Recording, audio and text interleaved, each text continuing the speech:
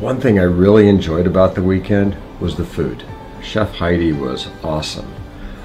I ate some things I usually don't like. I hate to admit it as a health-oriented doctor, but these taste buds don't like Brussels sprouts. I enjoyed her Brussels sprouts, and I hope my family can see this because they'll be uh, amused at that statement that I actually enjoyed the Brussels sprouts, but the food was just phenomenal.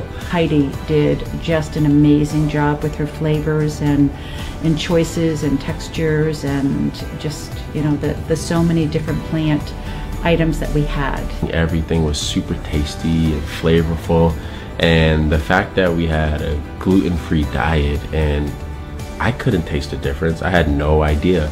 Um, it was really like impactful and powerful for me to say, hey, we can make these sort of healthy changes and not uh, lose taste or flavor while doing so.